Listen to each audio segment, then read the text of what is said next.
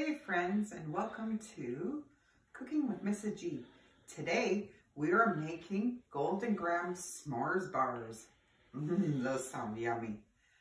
Oh, but first, we all know what Mrs. G's kitchen rules are.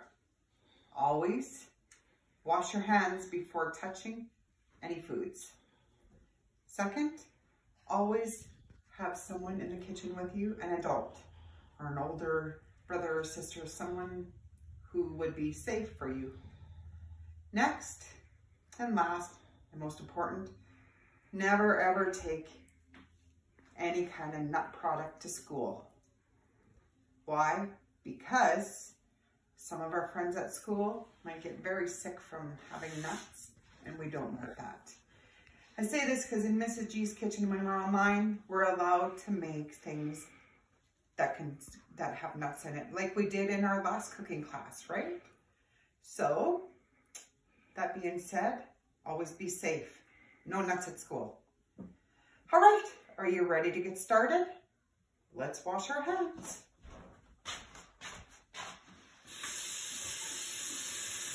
Nice warm water.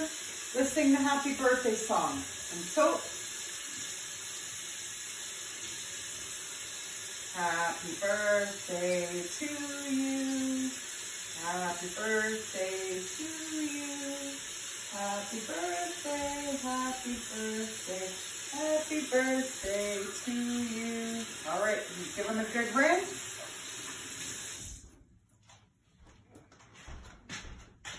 Dry them off. Once again, we're going to be making something that is just based on the stove and it's not going in the oven. Yay! So, what do you think we need to make golden graham s'more squares? Hmm. What does every s'more need? Chocolate, graham crackers, and marshmallows. However, we're not using graham crackers today. Instead, we're gonna use golden graham cereal. It is so yummy. Would you like one? Go ahead, have one. Mrs. G too. So yummy, it's my favorite cereal. I never eat it unless I make stuff like this. So let's turn on our stove to medium high heat, which I've already started. That way, and a nice big pot to go there um, because everything's gonna go in there and melt together, just like we did our Rice Krispie Squares, okay friends? So let's put our big pot on the stove and we are going to need five cups of mini marshmallows. If you don't have mini marshmallows like this, you can use probably about seven cups of large. Would probably be pretty close to that maybe, maybe not. But try your best to use mini marshmallows until I figure out the recipe on which is the best equivalent for the big ones, all right? So we're gonna put in, oh, first let's use margarine or butter. Okay guys? So we need a tablespoon because we want this to melt before we put in our chocolate chips and our, our uh, sorry, and our marshmallows, okay? So we're gonna do five. Ready to count with me? One, two, three, four, and five. If Mrs. G makes some mistakes in saying stuff, sorry friends, I'm a little bit tired. I decided to do a video in the evening.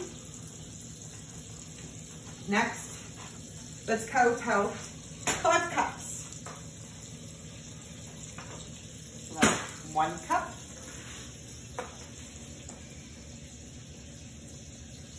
Two cups. Three cups.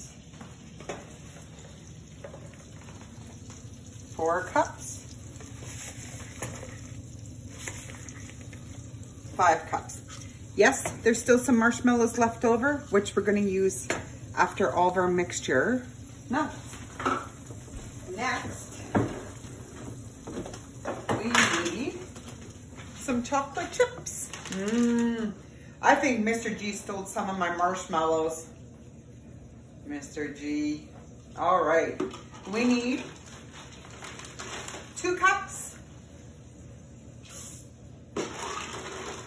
Well, actually, we only need one and a half cup, but you know Miss G always ends up putting in extra chocolate. So, so two cups. All right, friends. And we also need this, corn syrup. If you don't have corn syrup at home, you can use two tablespoons of water in here with a quarter cup of sugar and it'll all melt down and get you what you need. But since we have this, we're gonna pour this in. Corn syrup looks like maple syrup that you use for pancakes, hey? But this one is really good for baking and making things because it helps make things very sticky and stick together. Ooh, come take a look, friends. Our mixture is melting. Not like your regular, not like how you normally make s'mores on a, on a campfire or something, but look at that. It's all gonna taste the same. Wow, actually I think these will be much tastier.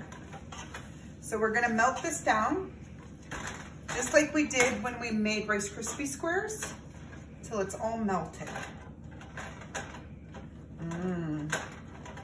I know Mrs. G loves to make things with chocolate, right? Who doesn't like chocolate? If you don't like chocolate, I'm sorry to hear that. All right. We're just gonna stir it and stir it until it's all melted. See that, friends? Not too much left of the chocolate chips and the marshmallows left. They're gonna form a nice gooey warm batter for us to add our cereal to.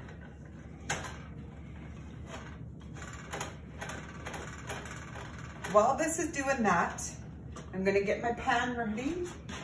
I'm just gonna use my Tupperware container and give it a little spray with the pan spray, just so it doesn't stick to it too much. Just lightly though. okay, let's check this out again and see. Remember, this is the part where an adult is supposed to help you. Does that look like gooey, gooey ooey? Just numminess right there? It sure does. Smells like it too. I would like to give you, let you have a stir at this, but you can't because it's too warm over here. When we mix our cereal and our marshmallows in with it, that's when you're allowed to give it a stir, okay? So you just got to be patient and wait, please. Oh, it's almost ready. See that, friends? Our marshmallows and our chocolate, our margarine, and corn syrup have made a nice thick batter. So next what we're gonna do is get our cereal. We are going to count out seven cups. So count with me, friends. One, two, three, four, five, six. What comes after six? Seven. Good job, guys. Seven. We're gonna give it a stir. Mrs. G turned off the stove because I don't want the chocolate batter to, to burn, but I want it to stay warm so it keeps melting. Come take a look what's happening now. When you stir this around, our chocolate melted mixture is coating all the cereal. Mmm. It just looks like sloppy, gooey s'mores now. And next, what Mrs. G is going to do is take another cup, whatever I have left in here, but it should be a cup, of marshmallows and just pour in. But we're not going to melt them. We're just going to stir them in quick so that they just stay like that. Now our pan is going to be hot, so be very careful with it. This is where the adult comes in. We're going to take it over to our container and we're going to pour it all in.